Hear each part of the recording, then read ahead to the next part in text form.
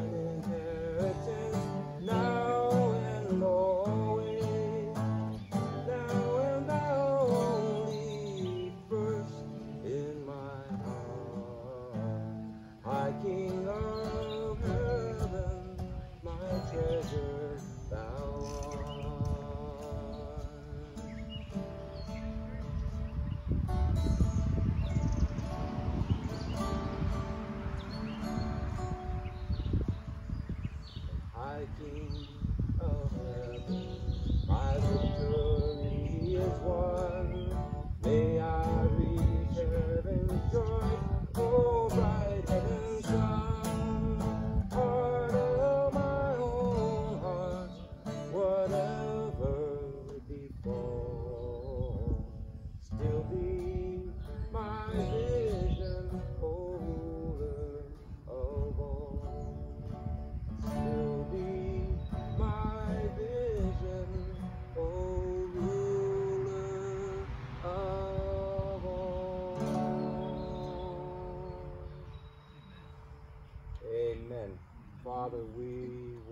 follow better. We want to listen more. We want to really long to be touched by you, God.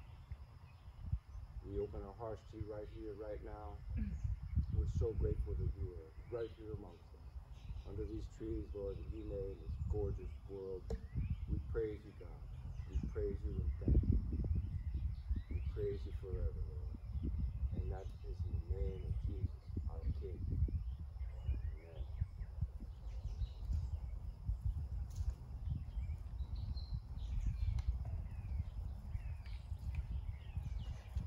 Should stand a little closer. Okay.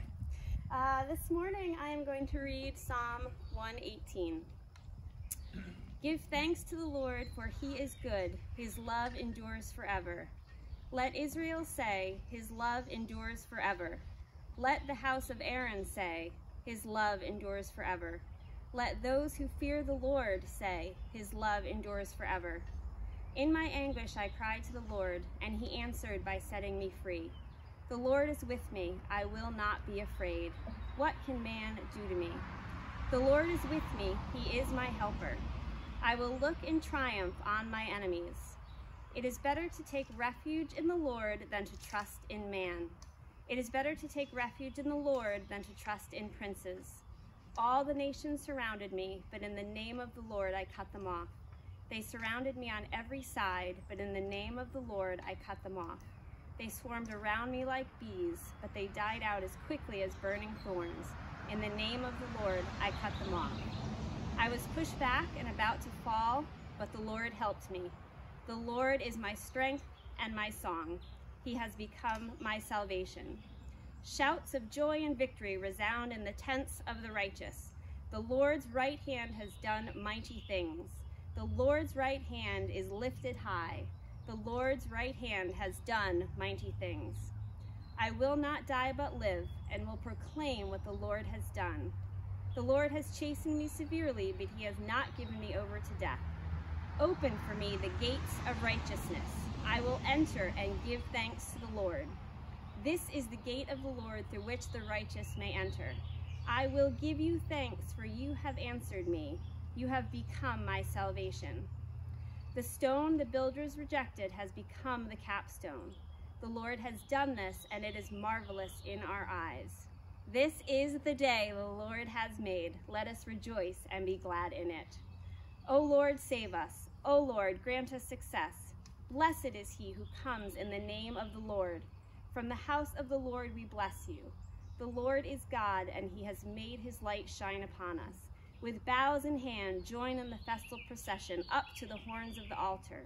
You are my God, and I will give you thanks. You are my God, and I will exalt you. Give thanks to the Lord, for he is good. His love endures forever. Heavenly Father, we thank you for this beautiful day. We thank you for this land with which we can have this service. We thank you for everyone that's here and everyone that is joining us from afar. You have given us a great gift, O oh Father. Praise your name. We give this service over to you. Amen. Amen. Amen. I should sing the song, This is the day, this is the day, but that's really a sing along, so we'll save that for um, the next. Uh, that's a good one. Um, the next song I had in mind was was this, but I really feel like singing this.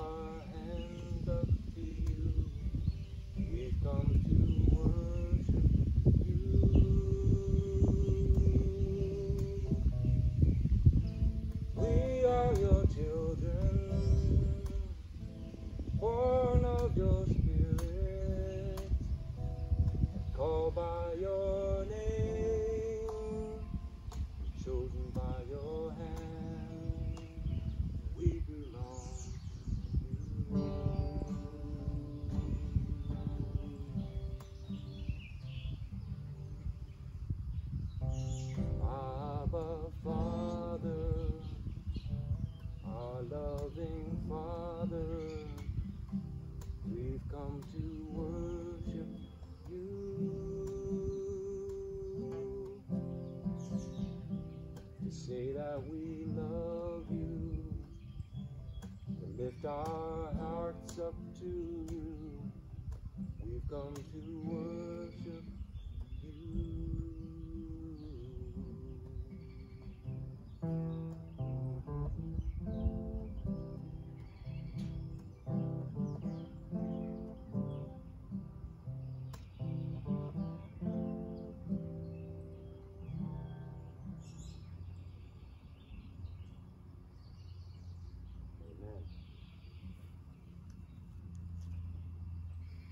Go for it, Jeff. We want to hear. Father, bless our brother. Fill his heart with your love and your words. And we anticipate your touch right now. In Jesus' name. Amen.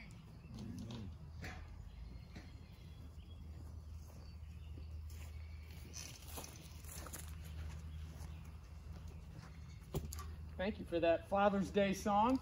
yeah, that's right. That was right on. yeah. Well, good morning. Welcome to Shepaug Valley Bible Church. Those of you from afar and those of us present, this is awesome. Yeah. This is really, there, there's so much to celebrate here today. You know, we have God, our Heavenly Father. Then we have earthly fathers or people in our lives that encouraged us and exhorted us and gave us a father's love. Then we have the longest day of the year. know, there's more light today than at any other day. Awesome. So it's really an awesome time. But there's one very particular celebration that we have is in 1996 on Father's Day, this church began. So this is our 20, what, fourth anniversary. Yeah, 24 years. It started in Harry's living room. we had a brother named Bob Liptak. He was playing guitar, a lot like what you do.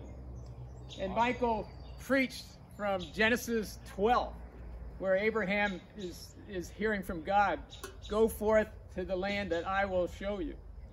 And that's how our church began, right in, right in that little beautiful living room. So anyway, Amen. much to celebrate. Praise God. We had Sunday school too, yeah. in the family room where the laundry room was. Oh, yeah, that's right.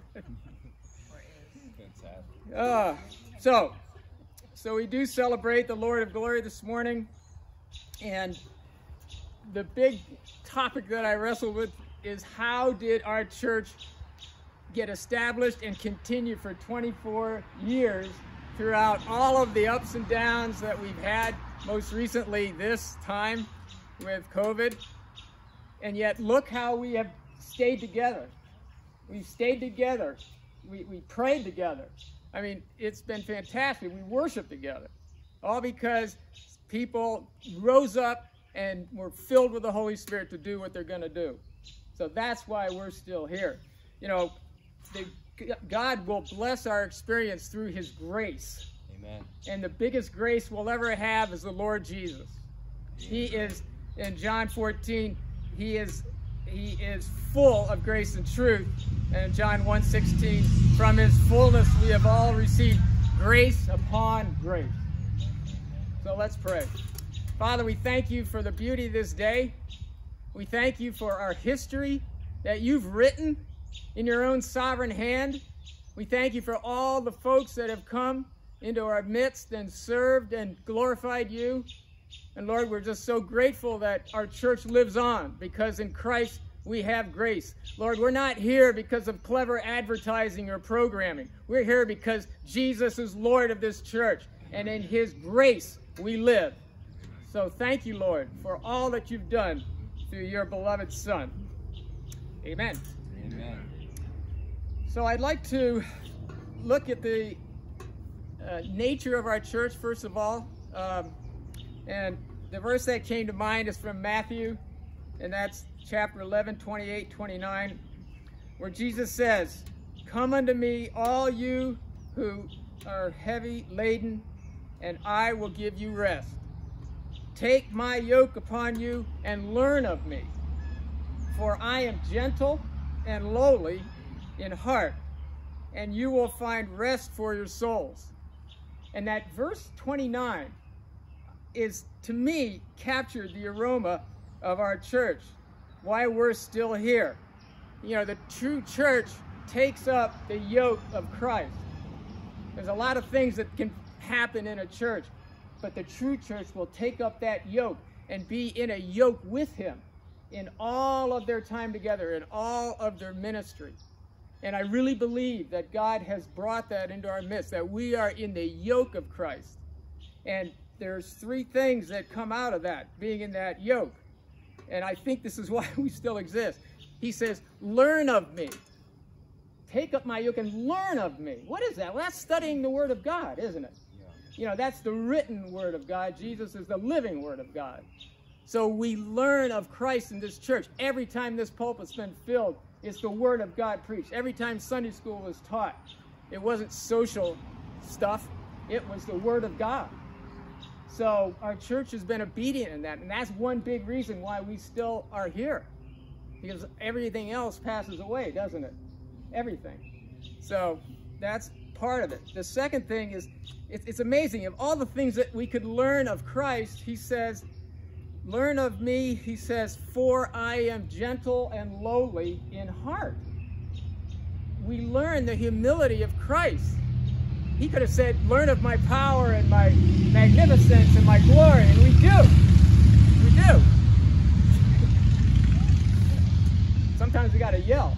But, but here he highlights gentle and lowly. Yeah. And he, he has told us in this verse to learn of, of, of my humility, says Jesus, how I humbled myself before my Father and, and was so useful in his hands in that humility. And I just that just touched me. And I think our church has a handle on that humility.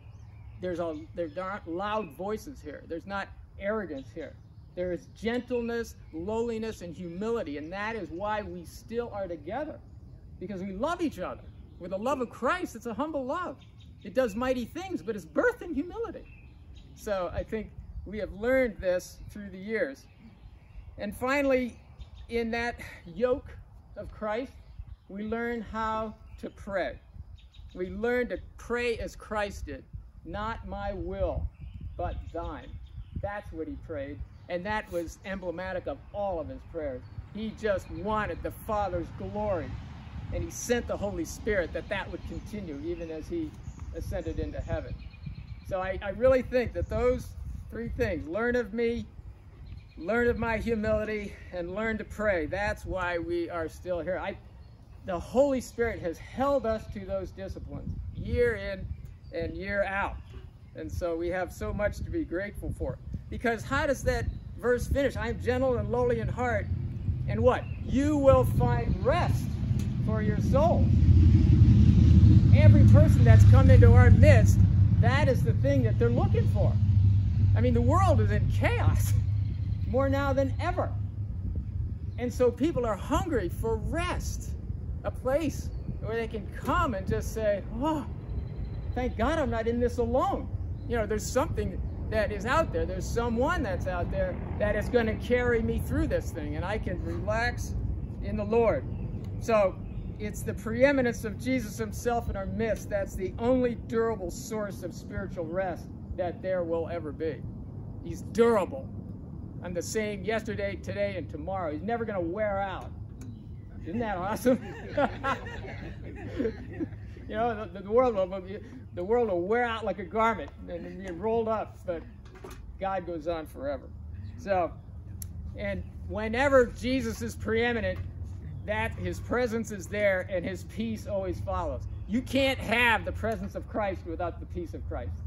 And you can't have the peace of Christ without the presence of Christ. So there is rest that we have. And every Sunday, when we were gathering on virtual and listening to Michael and listening to Cynthia, and Denise, and, and whoever was preaching, there was rest there. It was awesome. Right there in your own home. You know? So, so much good stuff. So these three virtues really were sown into our church from its very, very beginning. Um, Pastor Michael and Tansy Phillips, um, they modeled these wonderfully. They were, throughout their 21 years of ministry here, the light of Christ shone through them softly, gently, and beautifully. And those of you that knew them well, you know that that is true. And they would minister to people in awful situations. We have no idea of all the things that God did through them as broken people came to them. And they, they in humility, prayed with them. And they, they ministered to them, they counseled them. And their broken spiritual bodies were mended by that beautiful, humble ministry of prayer and intercession that God just poured through them. They're the reason that, that, that I came to this church, and my wife and I. And we come from broken, dysfunctional situations, and here was rest because it started right with the pastor and right with Harry. I mean, I, I look at Harry and Michael, they were my mentors when I was, you know, 30 something. you know, I, I needed men of God in my life.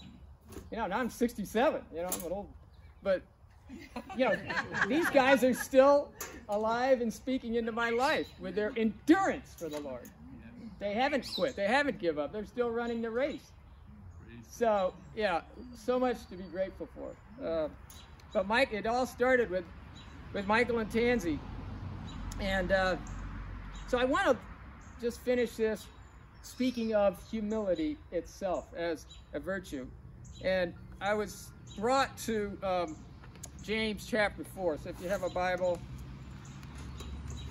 and I've got my tattered scriptures here from uh, chapter 4, James chapter 4. In this chapter, James is looking at a world that is enslaved with passions for money and wealth and power and sex and everything that we see in social media and the newspaper.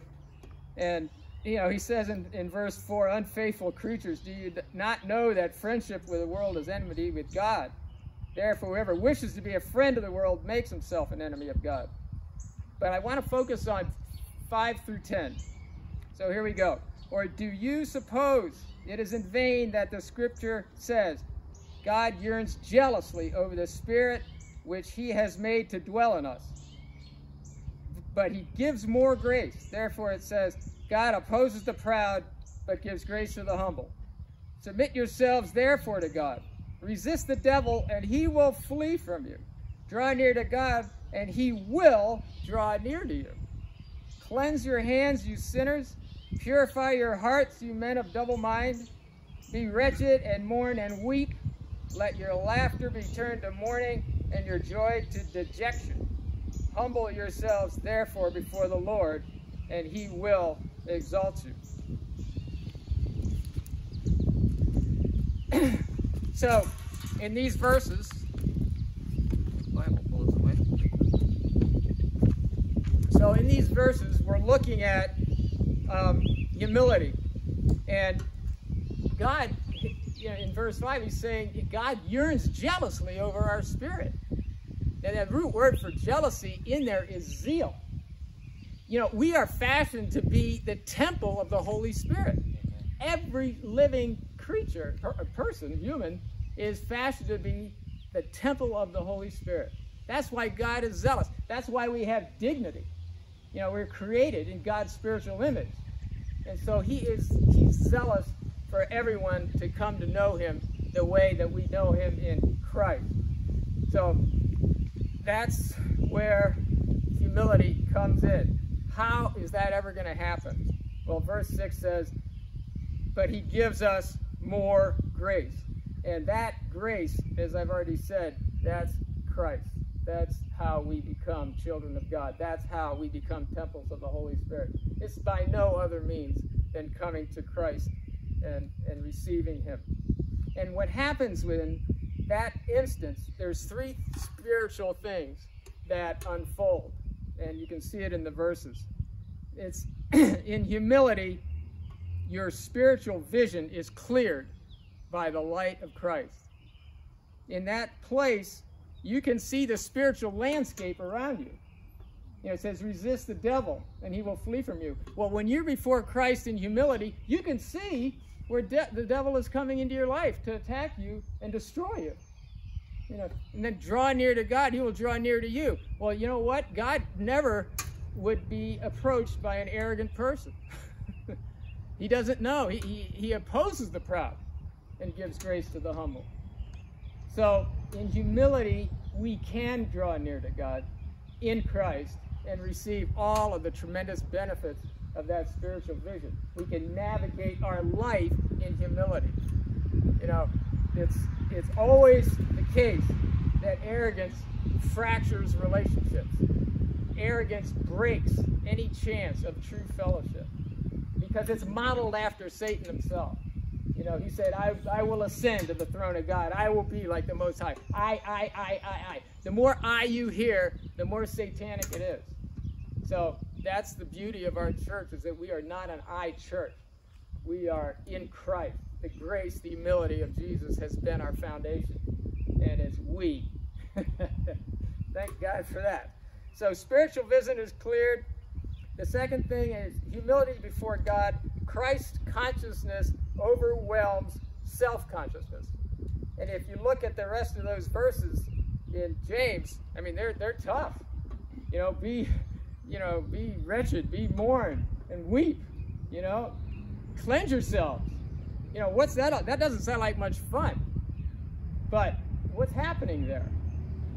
Well, in the love, in the perfect love of God, He is saying, I will give the mind of Christ to you if you humble yourself. And you will be able to see your sin the way you've never seen it before. And because you trust the perfect love of God, He's going to use everything that Satan has thrown against you and turn it to good.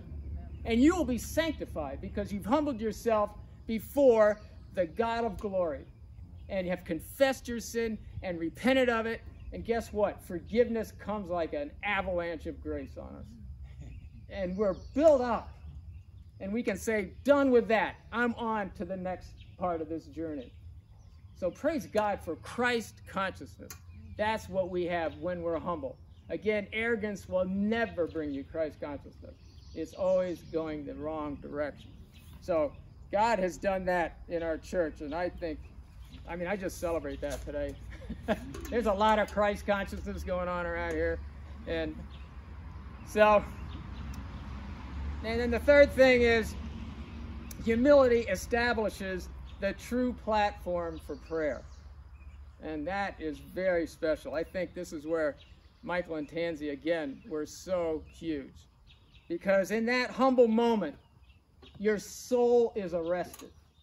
When you humble yourself before the glory of God, you know, like a day like this with the clouds and the blue sky, I mean, it, it, it transfixes you.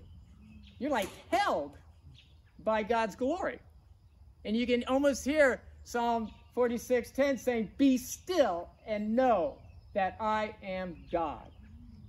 So that is what we have as the foundation for our prayer life.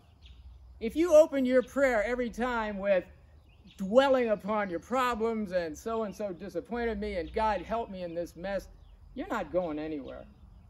Fix your eyes on Christ. Look at the glory of God. Look at his majesty. Look at his sovereignty. Look at his holiness.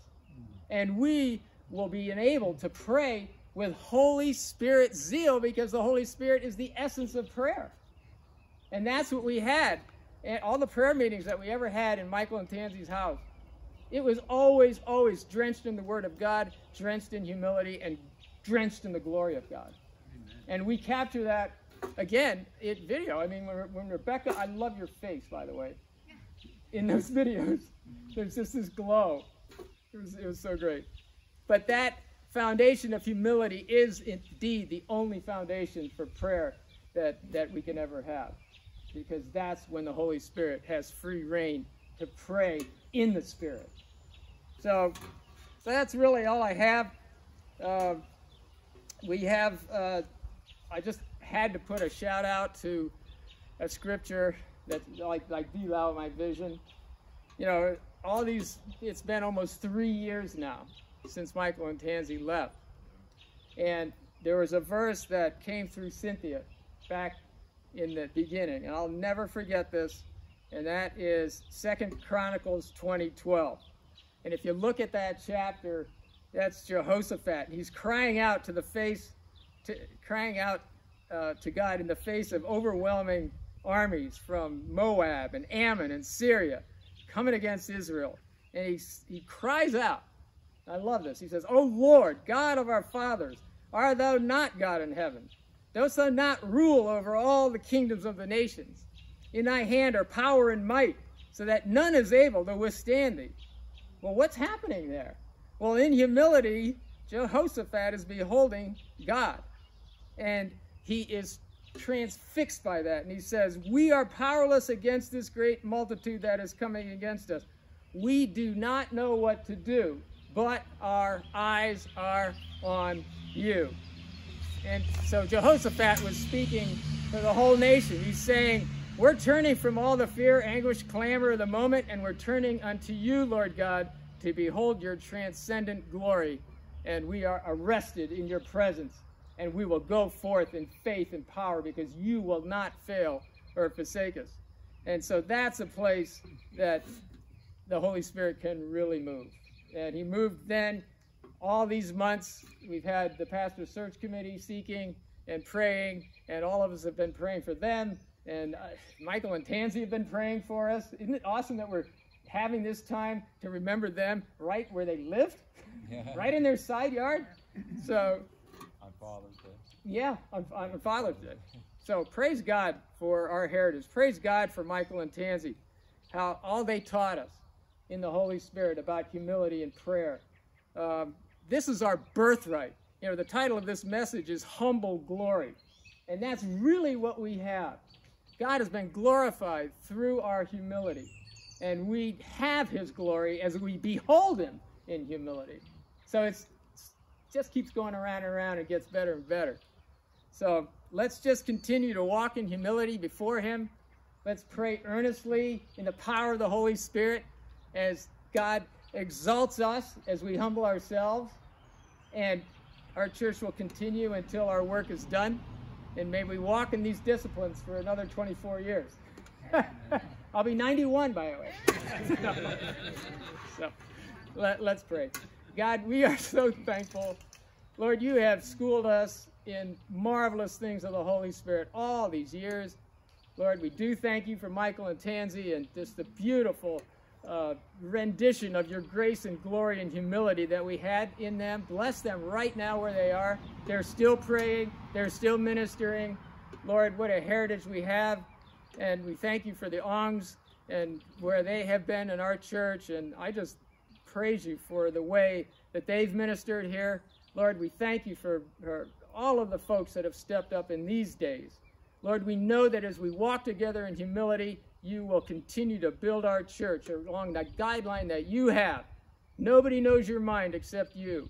But we surrender ourselves in humility and pray in the name of Christ Jesus. Be glorified in all of it. We ask, Amen.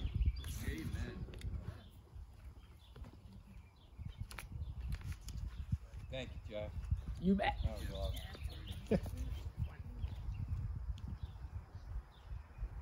Doing this stuff? It brought to mind something to me. Um, I I've been trying to learn some of the Hebrew alphabet, and the fourth letter is the letter Dalet, and it um, it means door, but what all the letters have pictures associated, as well as a musical note, as well as a number. So each letter of the Hebrew alphabet is, is very, very rich. But the fourth letter is Dalet, and it means bow to be bowed down, to be humble, and it also means door. So it means like we bow, and then the door is open. It's like this picture of being humble, like you talked about that, you know, it's like, it's, and it's right in the heart of the Hebrew alphabet, you know, so it's, it's just a rich image, and I just wanted to share that.